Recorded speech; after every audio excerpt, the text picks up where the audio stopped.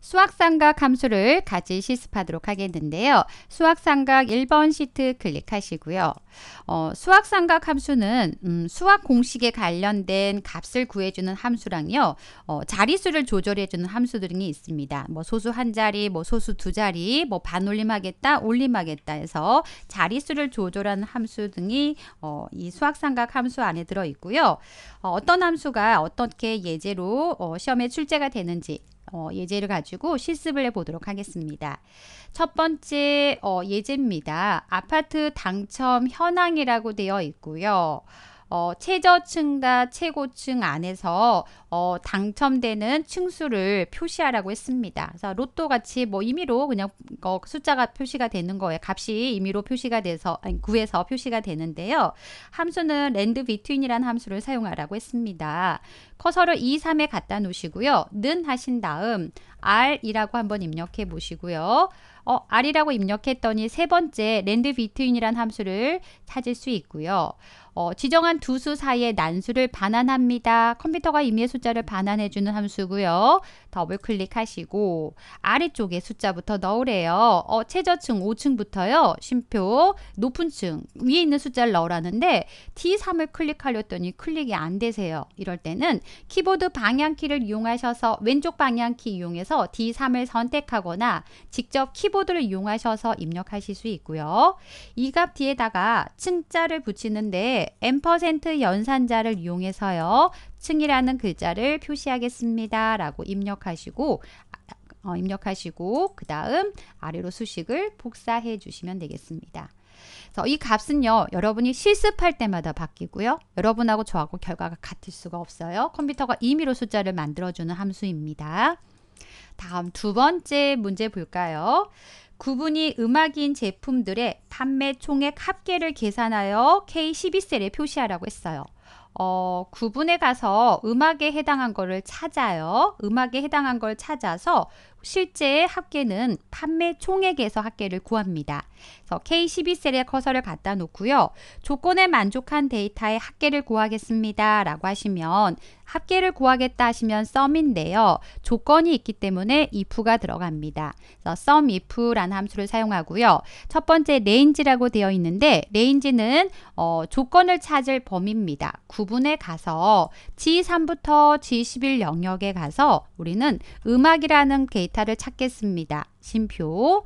이 음악이란 데이터를 찾았어요. 그럼 같은 행에 가서 판매 총액에 가서 합계를 구하겠습니다. 라고 어, sum range는 실제 합계를 구할 범위 넣어주시고 괄호 닫고 엔터 누르시면 음악에 해당한 데이터만 찾아서 하나, 둘, 셋. 그래서 합계가 102만 4,900원입니다. 라고 구해지는데요.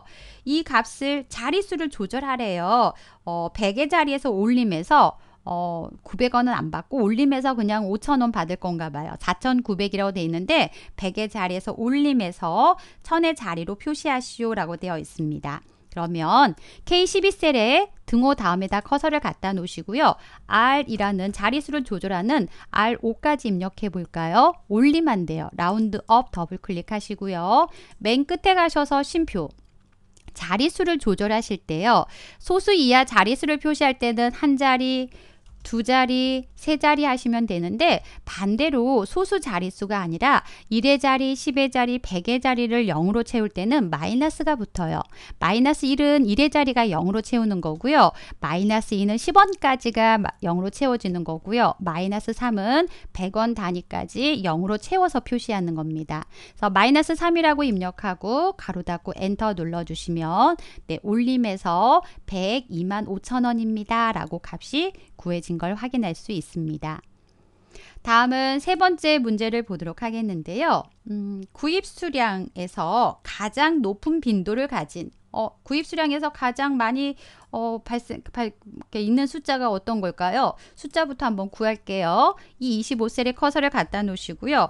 mod란 함수를 이용하시면 어, 데이터 집합에서 가장 자주 발생하는 값을 구합니다. 라는 설명을 보실 수 있고요. 구입 수량에서 드래그를 D16부터 D24까지 드래그 하시고 괄호 닫고 엔터 눌렀더니 아, 4라는 숫자가 가장 많이 발생을 했는데요. 그러면 4에 해당한 데이터, 구입 수량이 4개였던 데이터에 구입 총액의 합계를 구하라고 했습니다.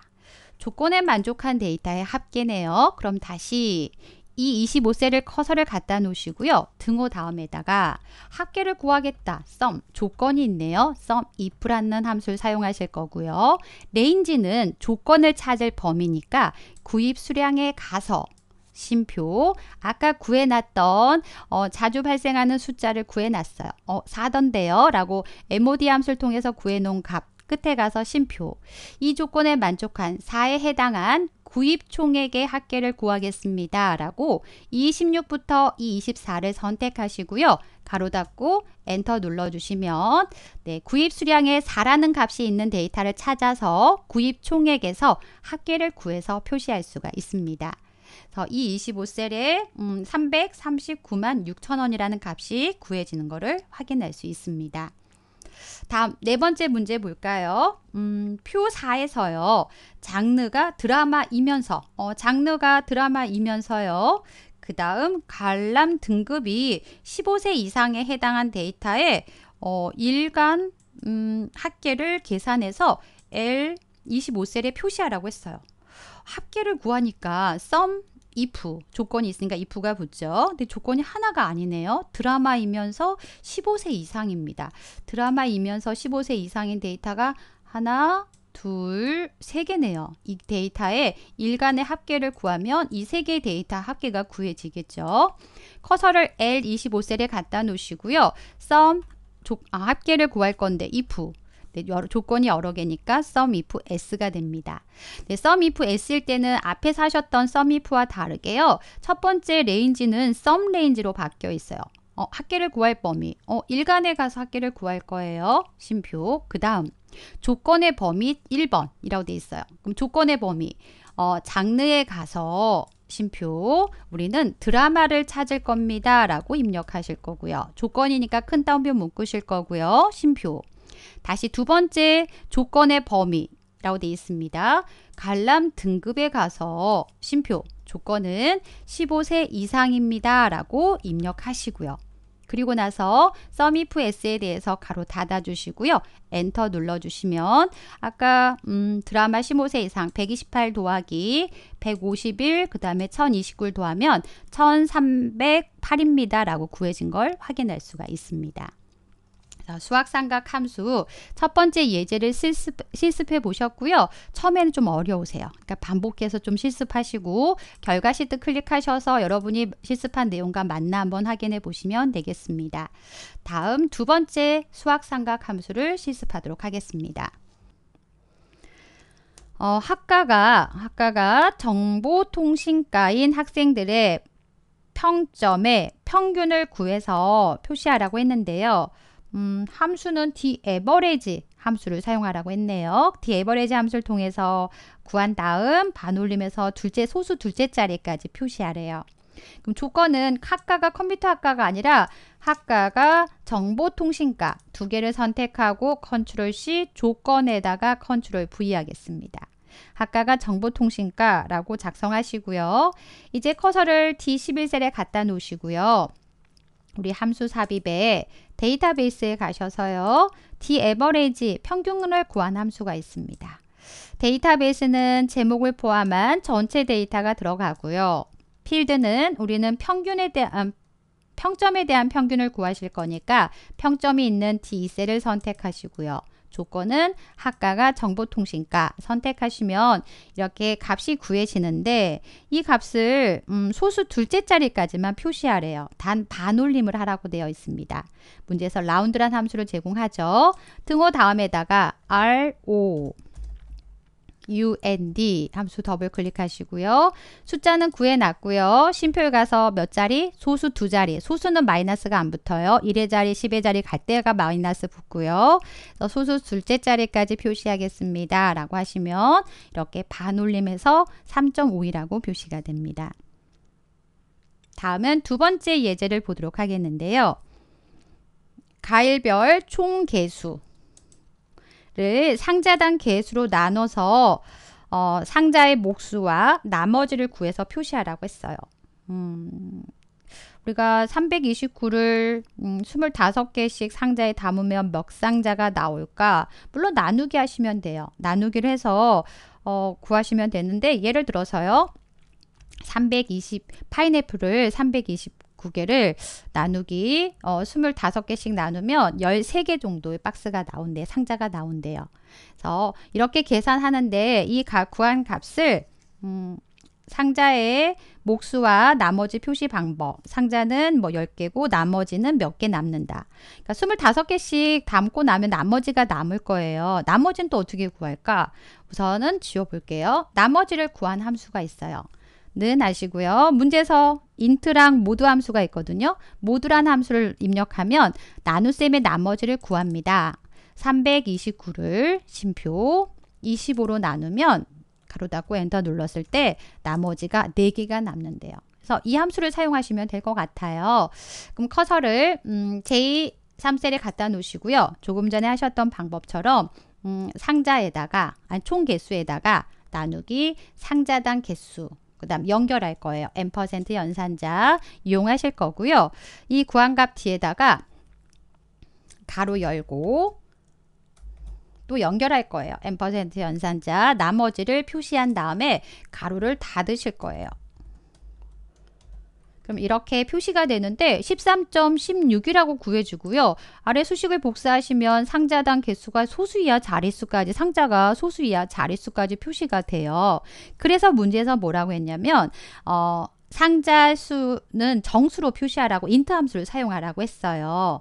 그래서 INT를 이용해서 이 상자의 개수 소수 이하 자릿수가 표시되지 않도록 하기 위해서요.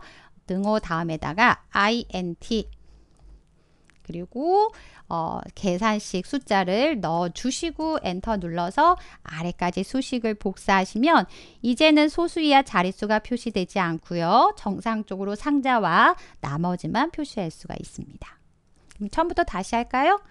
어, J23에 커서 갖다 놓고 이제 앞에서부터 갈게요. 상자 수는 INT 함수를 사용할 겁니다. 총 개수를 상자로 나눠요. 괄호 닫고 엔터. 그럼 정수가 구해지겠죠? 이 값에다가 ampersand 연산자 이용해서 괄호 열고 ampersand 연산자 이용해서 나머지를 구하실 거예요.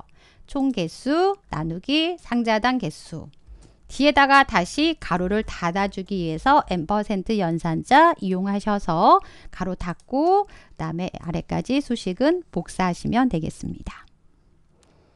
다음 세 번째입니다. 국내 출장비 지급 현황표에서요. 출장비 합계를 구하라고 했어요. 출장비 합계는 음, 썸을 통해서 합계를 구하네요.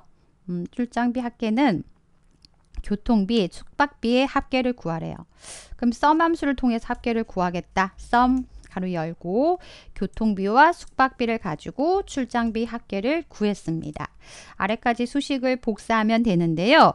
이 구한 값을 음, 천의 자리에서 내림에서 천원 자론 밑에는 내림에서 어, 따로 뭐 내림하지 않아도 천 원 단위 다 계산이 되어 있지만 내림에서 만 원 단위로 표시하래요. 아, 만 원 단위로. 그러면 만 원 단위로 주겠대요. 내림에서 18만 5천 원이면 그냥 18만 원, 20만 2천 원이면 20만 원, 15만 9천 원이면 15만 원이라고 만 원 단위로 주겠대요. 그러면 E15셀에 커서를 갖다 놓으시고요. 천의 자리에서 내림한대요. ROUNDDOWN 함수 이용하실 거고요. 그 다음 끝에다 쉼표 1의 자리면 마이너스 1인데 1의 자리는 마이너스 2, 10의 자리는 마이너스 4, 마이너스 2, 100의 자리는 마이너스 3, 1000의 자리니까 마이너스 4가 되겠네요. 마이너스 4 입력하시고 아래까지 수식을 복사합니다. 다음 네 번째 문제 보겠습니다. 1차, 2차의 차이를 구해서 절대값으로 점수 차이를 표시하시오 라고 되어 있습니다. 어, 1차에서 2차를 빼래요. 1차 마이너스 2차. 그러면 2가 나오네요. 아래까지 쭉 수식을 복사해 보면 어떤 데이터에는 마이너스가 붙어 있어요. 마이너스 없이 그냥 어, 절대값으로 표시하래요. 그러면 j15셀의 커서를 갖다 놓으시고요. 문제에 나와 있는 abs 함수 사용하시면 돼요. abs 절대값을 구합니다. 안의 숫자는 빼기에서 구하겠습니다. 그리고 수식을 아래까지 복사하시면 아까 마이너스가 다 없어지면서 숫자가 표시가 되어 있습니다. 시스판 결과 한번 확인하셔서 맞게 계산이 되어 있는지 확인하시면 되겠습니다.